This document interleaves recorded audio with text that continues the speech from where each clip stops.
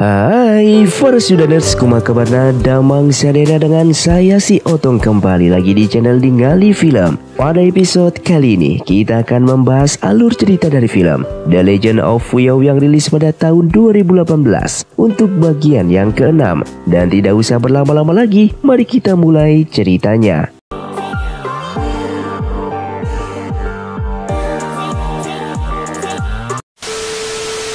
Film pun dilanjutkan dengan Zhang Wuji yang menerima sebuah surat dari kerajaan Suanji yang saat ini kerajaan Suanji sedang dalam masalah dan sang ratu dalam keadaan sakit. Namun tidak diketahui siapakah pengirim surat tersebut. Kemudian Sang Wuji akan pergi ke kerajaan Suanji untuk menyelesaikan masalah itu dan dia akan mengajak Fuyao untuk ikut bersamanya.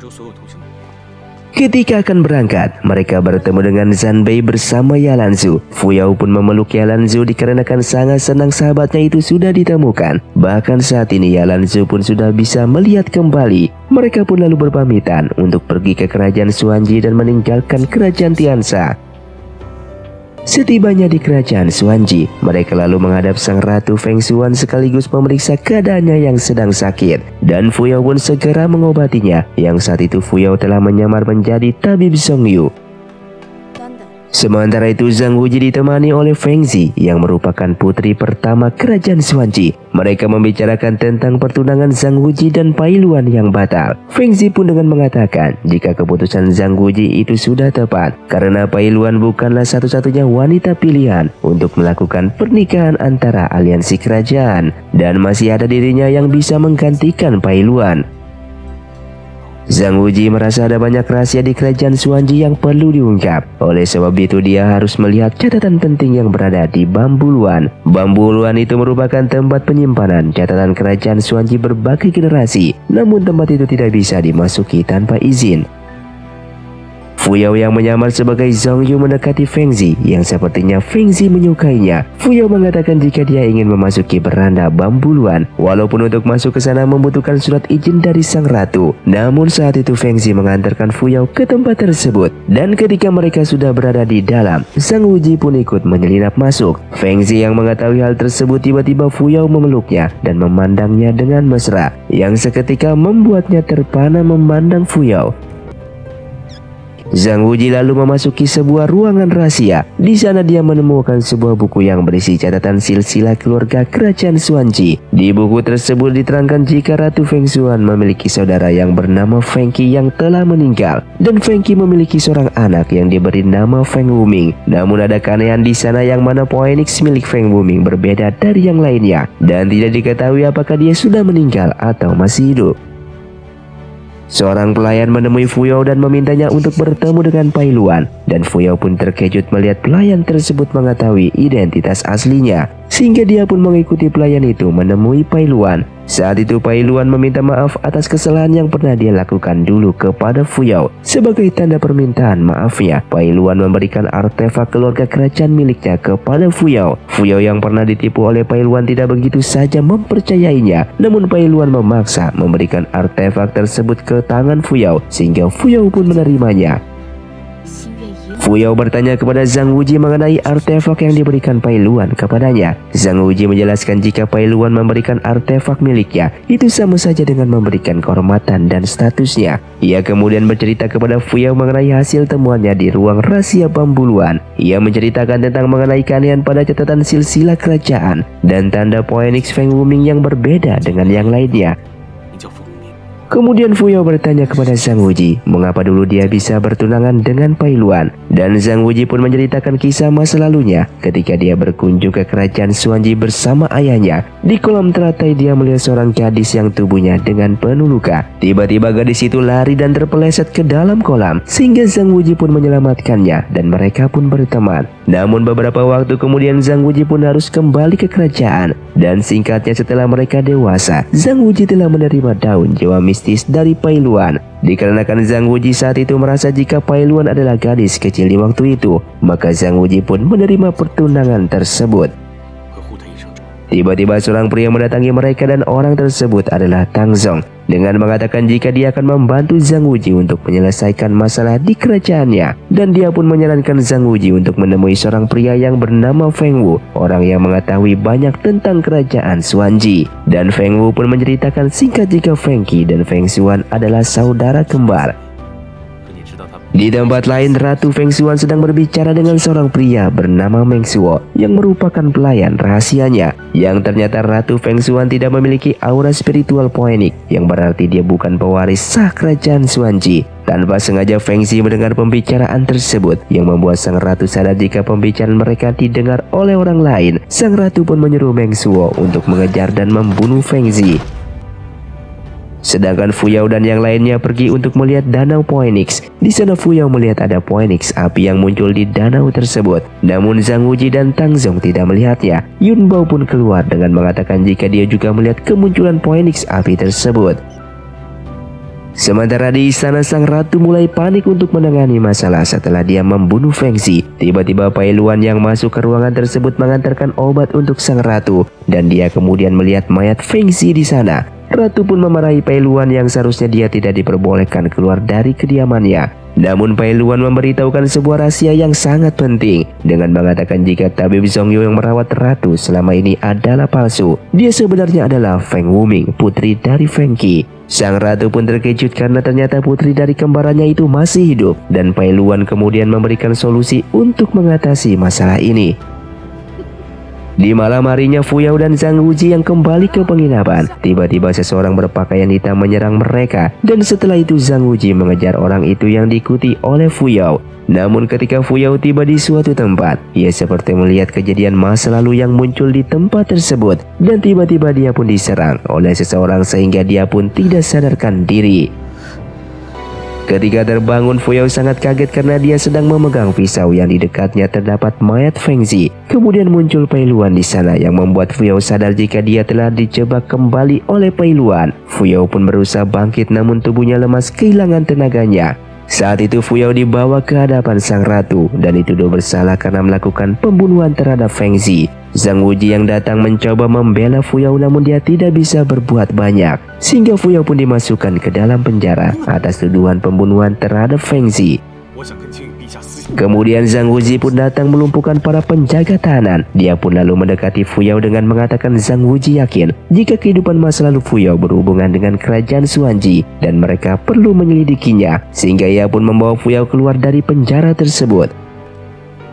Sementara itu sang Ratu Feng Xuan mengalami sakit terkena racun yang tidak biasa. Ratu heran mengapa dirinya bisa terkena racun padahal jimat Phoenix miliknya yang bisa menetralisir racun tersebut. Zhang Wuji lalu datang dengan mengatakan jika tidak ada yang tidak mungkin, apalagi racun dari Cakrawala sulit untuk disembuhkan. Yang ternyata Zhang Wuji lah yang telah meracuninya. Zhang Wuji lalu meminta sang ratu untuk menjelaskan apa yang telah terjadi 19 tahun yang lalu di kerajaan Suanji. Tidak lama kemudian Meng Shuo pun datang ke sana sambil mengancam sang ratu dengan pedang dan memaksanya untuk mengatakan di mana keberadaan putrinya. Sang ratu pun mencoba membujuk Meng Shuo dengan mengatakan apabila Meng Shuo berhasil membunuh Sang Wuji, maka dia akan mengatakan semuanya mengenai anak dan istrinya.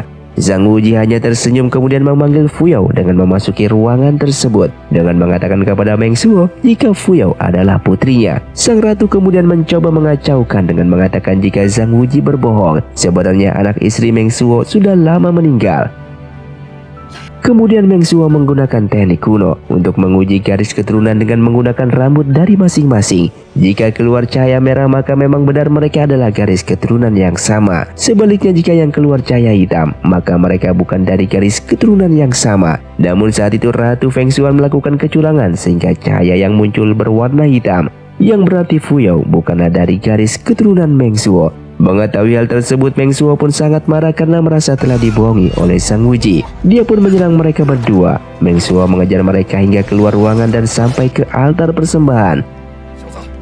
Bahkan Meng Shuo pun menebaskan pedangnya sehingga menyebabkan Fuyao terluka hingga terjatuh di atas altar dan darah Fuyao meneteskan dengan mengalir di atas altar sehingga Fuyao pun melayang di udara. Seketika Fuyao mengingat semua tentang dirinya tentang masa kecilnya yang pahit di mana ibunya telah dibunuh oleh Feng Xuan. Fuyao pun berteriak bersama dengan itu muncullah Phoenix api yang terbang ke angkasa. Kemudian Fuyao pun terjatuh dan disambut oleh Zhang Wuji. Kepada Zhang Wuji dia pun mengatakan jika dia sudah mengingat semuanya. Dia melihat langsung jika Feng Qi ibunya dibunuh oleh Feng Xuan. Lalu dia diselamatkan oleh pelayan ibunya yang bernama Xuan. Dan untuk menyelamatkan diri mereka lalu tinggal di kolam teratai. Di sana dia bertemu dengan seorang anak laki-laki tampan yang memberikannya daun jiwa mistis sebagai tanda perkenalan. Anak laki-laki tersebut adalah Zhang Wuji. Dan tak lama setelah itu Pailuan pun datang meminta daun jiwa mistis tersebut. Namun Fuyo tidak mau memberikannya. Oleh sebab itu Pailuan mengadukan persembunyiannya kepada Feng Xuan. Sehingga malam harinya Feng Xuan pun datang menangkap Xuan karena telah menyembunyikan Fuyao. Fuyao yang melihat hal itu pun lalu keluar dari persembunyiannya dia memberikan daun jiwa mistis kepada Pailuan dan memohon untuk mengampuni mereka. Namun Suan tetap dihukum mati sedangkan Fuyao berhasil diselamatkan. Setelah salah seorang prajurit memalsukan kematiannya, yang akhirnya Fuyao kemudian dipungut oleh Paman Zhao dan dibesarkan di gunung perguruan jiwa mistis. Mendengar cerita itu, Meng Suo sangat menyesal karena tidak mampu menjaga mereka, sehingga istrinya pun meninggal dan Fuyao pun mengalami penderitaan. Meng Suo pun meminta maaf kepada Fuyao karena telah mengalami banyak kesulitan. Kemudian ia pun memeluk ayahnya tersebut. Setelah itu Feng Xuan pun menyuruh para prajurit untuk menangkap Fuyao, namun tidak ada seorang pun yang bergerak. Tang Zhong pun maju dengan mengatakan jika pewaris kerajaan yang sah adalah yang mampu memanggil Phoenix api dan orang tersebut adalah Fuyao. Zhang Wuji lalu membongkar kejahatan Feng Xuan di depan para prajurit Xuanji bahwa Feng Xuan telah membunuh Feng Qi dan dia juga memerintahkan Meng Shuo untuk membunuh banyak orang untuk menutupi kebenaran Danau Phoenix. Kemudian Feng Wu tiba-tiba ada di sana sebagai salah satu orang yang akan menjadi bukti tersebut. Feng Xuan pun sangat kaget karena seharusnya Feng Wu sudah mati. Dia sebelumnya telah menyuruh Meng Shuo untuk membunuhnya. Feng Xuan kemudian menyuruh Meng Shuo untuk membunuh Fuyao dan jika dia menolak perintah tersebut maka dia akan merasakan sakit di tubuhnya dikarenakan dia sudah terikat sumpah cakrawala. Sehingga Meng Shuo yang tidak mau lagi dikendalikan ia pun akan bunuh diri. Namun Fuyao dan Sang Wuji mencegahnya. Mereka lalu membebaskan kutukan sumpah itu di tubuh Meng Shuo dan Feng Xuan yang sebelumnya telah menderita keracunan pun seketika tak sadarkan diri Keesokan harinya Fuyao pun dianggap sebagai ratu baru di kerajaan Suanji dan Sang Wuji sebagai putra mahkota tujuh bintang kemudian menyerahkan tongkat kerajaan tersebut kepada Fuyao. Bahkan dia mengatakan jika kerajaan tujuh bintang membuat janji pernikahan aliansi dengan kerajaan Suanji. Dengan tersenyum Fuyao pun menjawab jika dia akan memikirkannya. Dengan darahnya Fuyao pun memegang tongkat kerajaan. Seketika Phoenix api terbang keluar dari tongkat tersebut. Setelah diangkat menjadi sang ratu, Foya mengirimkan undangan ke kerajaan sahabat dan juga teman-temannya. Zanbei dan Yalanzu dari kerajaan Tianxia juga diberikan undangan. Zhong Yu yang sekarang tinggal bersama Qiyun di pedesaan membuat tempat pengobatan untuk rakyat di sana. Dia juga mendapatkan surat undangan dari Fuyao. Namun Qiyun mengatakan jika dia akan tetap tinggal di sana dan menunggu Zhong Yu kembali. Sehingga Zhong Yu pamit kepada Qiyun untuk menuju kerajaan Suanji. Sang Wuji yang datang menemui Fuyao. Fuyao pun mengatakan jika dia tidak terbiasa dengan posisinya saat ini, dia merasa lebih nyaman dengan gaya hidupnya yang dulu. Dan Zhang Wuji pun akan mendukung apa pun keputusan kekasihnya tersebut. Dikarenakan tidak terbiasa berada di atas tata kerajaan, Fuyao pun memutuskan untuk menghapus sistem kekuasaan tunggal dan memilih beberapa orang dipercaya untuk berbagi tanggung jawab dengannya. Saat itu tamu dari kerajaan lain yang juga sahabat Fuyao telah berdatangan untuk memberikan selamat kepadanya. Mereka pun melepaskan kerinduan sebagai sahabat yang lama tidak bertemu. Dan malam harinya mereka pun menikmati pesta kembang api bersama-sama. Keesokan harinya Zhang Wuji menerima surat dari kerajaan tujuh bintang jika Menteri Zhang Jia yang telah menghilang selama tiga bulan tiba-tiba akan melakukan pemberontakan dan dia telah memiliki kekuatan 300 ribu pasukan. Mendengar kabar tersebut Zhang Wuji kemudian segera berangkat ke kerajaan tujuh bintang bersama Fuyao dan mereka kemudian berpisah dengan San Bei dan yang lainnya. Singkatnya mereka berdua pun telah sampai di istana tujuh bintang. Sang Wuji lalu segera bertemu dengan sang raja ayahnya. Sang raja langsung memberikan komando pasukan kepada Sang Wuji. Sang raja mempercayakan semuanya kepada Sang Wuji untuk menghadapi pemberontakan Menteri Zhang Jia dan dia menginginkan Sang Wuji untuk membunuh pengkhianat kerajaan tersebut. Setelah itu Sang Wuji bertemu dengan Permaisuri dan Permaisuri meminta Sang Wuji untuk tidak membunuh Menteri Zhang Jia sehingga Sang Wuji pun bertanya alasan ibunya melarangnya. Permaisuri dengan ragu akan menjawab pertanyaan tersebut namun tiba-tiba pelayannya pun datang dengan membawakan obat untuknya. Sementara itu Zhang Jia telah bersiap di luar kota untuk melakukan penyerangan yang ternyata dia bekerja sama dengan Zhang Sun. Mereka akan mengutus orang menyusup ke istana dan menculik permaisuri. Sementara itu di ruangannya, permaisuri berdoa seperti biasanya. Tiba-tiba sekelompok orang berpakaian hitam menyerangnya hingga tak sadarkan diri dan mereka lalu membawa permaisuri pergi dari sana. Lalu seorang wanita pun datang menggantikan posisi permaisuri berdoa. Tidak lama kemudian muncul para penculik lain dan memukul permaisuri palsu tersebut hingga pingsan dan membawanya pergi dari sana.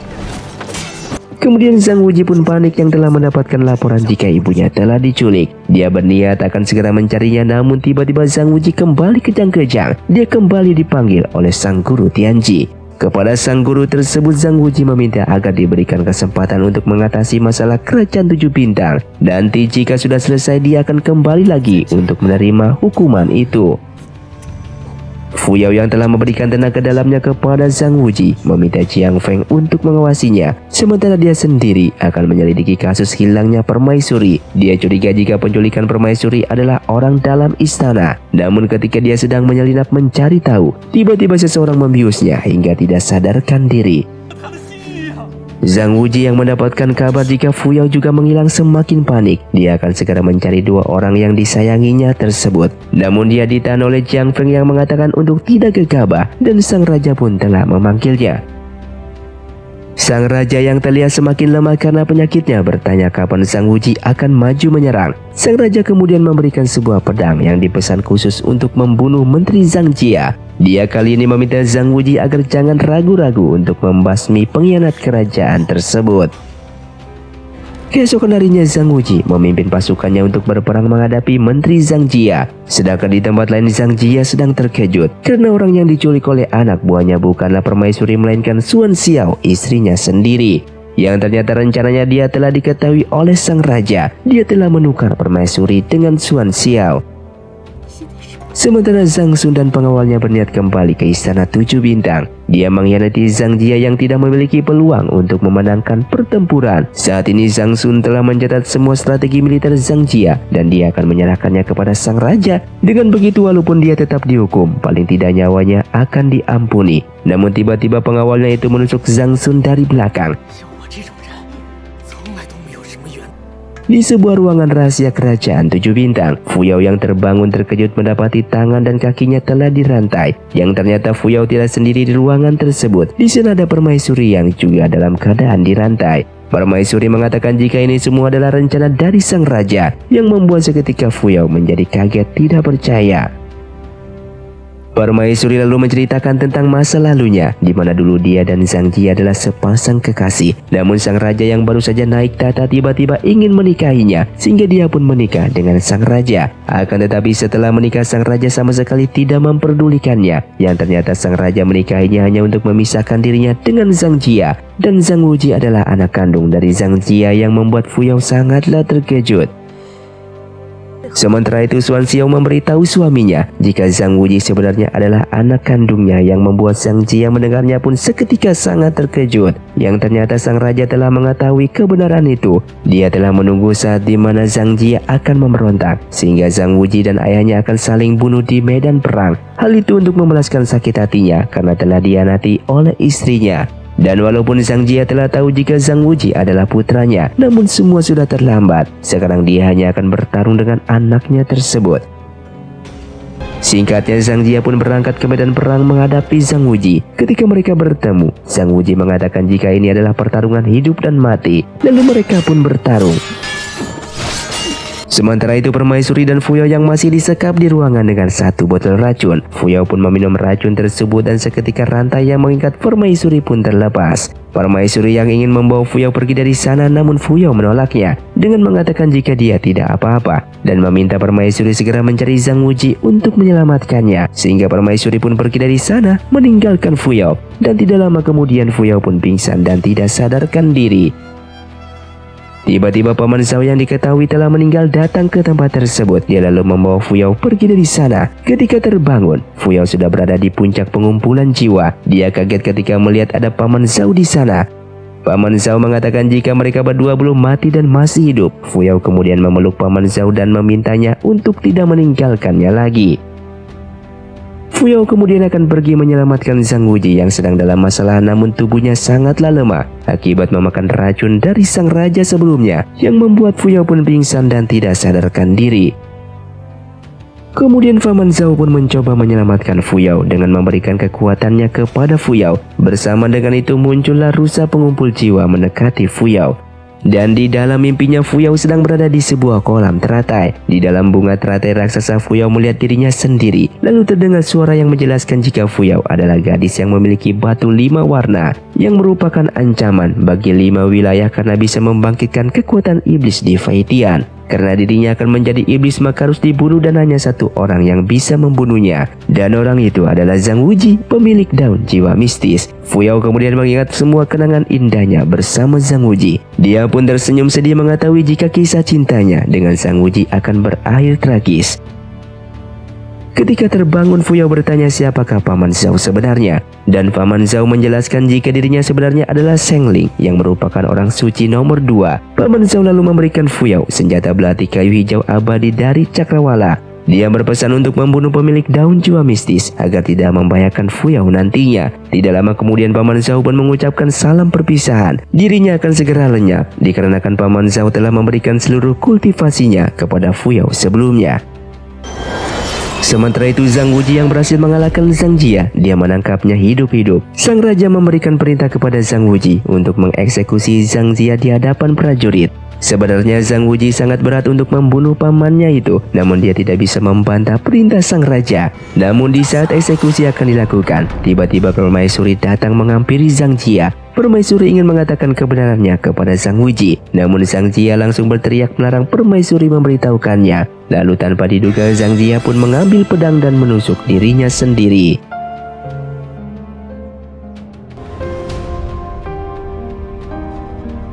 Saat itu Permaisuri berduka atas kematian Sang Jia dan Sang Wuji lalu datang menemui ibunya tersebut. Dia bertanya tentang kebenaran yang belum diketahui kepada permaisuri. Permaisuri lalu mengatakan jika Zhang Jia adalah ayah kandungnya. Sang raja telah merencanakan semua ini selama 20 tahun hanya untuk membuat Zhang Jia bertarung dengan putranya sendiri yang seketika membuat Zhang Wuji terkejut dan sangatlah terpukul. Sang Wuji kemudian kembali ke istana menemui sang raja yang sedang sekarat karena penyakit lamanya. Sang raja mengatakan jika Sang Wuji akan naik tahta menggantikan dirinya Sang Wuji kemudian bertanya kenapa sang raja membuat dirinya bertarung dengan ayahnya sendiri. Sang raja menjawab karena hal itulah yang paling ingin dia lakukan seumur hidupnya. Dia sudah merencanakan ini selama 20 tahun. Mencintai dan menjadikan Sang Wuji sebagai putranya sendiri. Dan mengajarkan semua hal tentang kepemimpinan. Yang pada akhirnya akan menempatkan Sang Wuji dalam tahta. Namun kehilangan cinta dan akan kesepian. Lalu sang raja pun bertanya kepada Sang Wuji. Kenapa Sang Wuji bukanlah putra kandungnya. Dan kemudian sang raja pun meninggal di sana.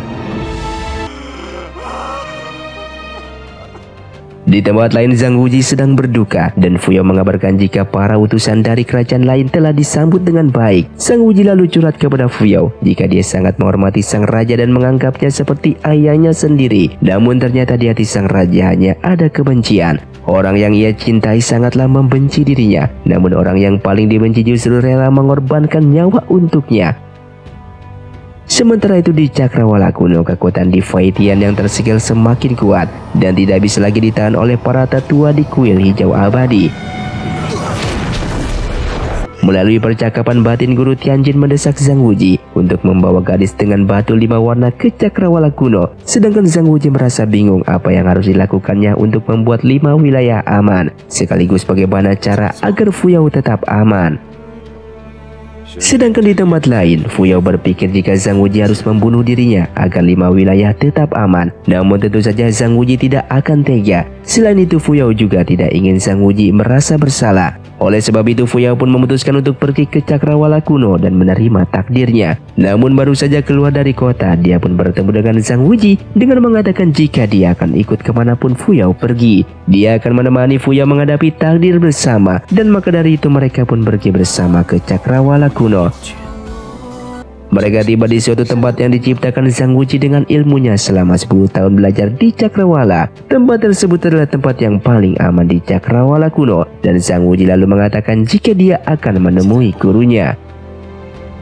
Singkatnya Zhang Wuji pun datang menghadap gurunya dan guru Tianjin bertanya di mana wanita iblis itu. Zhang Wuji menjawab jika Fuyao bukanlah wanita iblis. Guru Tianjin mengingatkan hukuman bagi mereka yang tidak mematuhi hukum cakrawala. Lalu muncul beberapa orang dan mereka pun bertarung dengan Zhang Wuji yang pada akhirnya Zhang Wuji pun dikalahkan dan muncul beberapa rantai yang kemudian Guru Tianjin mengikat Zhang Wuji di puncak gunung. Zhang Wuji bertanya mengapa untuk menyelamatkan dunia harus bergantung kepada seorang wanita yang tak berdosa. Guru Tianjin menjawab jika tidak ada cara lain, hanya dengan mengorbankan nyawa iblis itu maka lima wilayah akan aman. Zhang Wuji tidak percaya dengan mengatakan akan terus melindungi Fuyao yang seketika membuat Guru Tianjin semakin marah. Dia lalu memberikan hukuman paku penyerap jiwa kepada Zhang Wuji. Sementara itu Fuyao yang telah lama menunggu Zhang Wuji belum kunjung kembali mulai khawatir. Ia lalu meminta Yun Bao membantunya mencari Zhang Wuji. Fuyao kemudian tiba di tanah Cakrawala namun tanpa diduga ada beberapa orang di belakangnya. Mereka adalah teman-teman Fuyao yang ternyata sebelumnya Yun Bao telah memberi kabar kepada mereka. Lalu mereka pun pergi bersama menuju ke gunung tempat Zhang Wuji dihukum. Ketika melewati sebuah jembatan muncul beberapa orang penjaga menyerang mereka. Kemudian Fuyao segera naik ke puncak gunung, sementara yang lainnya bertarung menghadapi para penjaga. Mereka berempat berhasil mengatasi para penjaga tersebut. Namun para penjaga yang lain berdatangan dan jumlah mereka semakin banyak. Xiaoqi pun mengatakan kepada yang lainnya untuk terus naik. Sementara dia sendiri akan menahan para penjaga itu. Kemudian dia pun memutuskan tali jembatan itu sehingga para penjaga yang datang pun jatuh ke jurang. Namun salah satu penjaga berhasil melompati jembatan dan menyerang Xiaoqi. Dia lalu memutuskan menyeret pria tersebut jatuh bersamanya ke jurang itu. Sementara itu Fuyao telah sampai di puncak dan mendatangi Zhang Wuji yang sedang dirantai. Kemudian mencoba untuk memutuskan rantai yang mengikat Zhang Wuji tersebut. Kemudian muncul para tetua kuil hijau abadi yang akan menangkap Fuyao. Fuyao lalu mendekati mereka dan bertanya mengapa mereka bertindak begitu kejam terhadap Zhang Wuji. Guru Tianjin mengatakan awalnya Zhang Wuji adalah murid terbaiknya dan merupakan penerus cakrawala kuno. Namun hanya untuk melindungi seorang wanita, dia tidak mematuhi gurunya dan kehendak langit. Kemudian Fuyao memandangi Sang Wuji. Dia tersenyum dengan mengucapkan terima kasih kepada Sang Wuji. Fuyao kemudian mengatakan selama guru Tianjin melepaskan Sang Wuji, maka dia akan melakukan apa pun yang mereka inginkan. Para tetua pun setuju dan mereka pun menyalurkan energi untuk membasmi iblis dalam diri Fuyao sehingga ia pun tidak sadarkan diri. Tiba-tiba Peiyan muncul dan menyerang para tetua di kuil hijau. Guru Tianjin kemudian menyerang Peiyan, namun Peiyan dengan mudah membunuhnya. Peiyan kemudian menyuruh Taiyan untuk membunuh Zhang Wuji. Namun Taiyan yang mencintai Zhang Wuji justru menyerang Peiyan, sehingga Peiyan pun kemudian membunuhnya.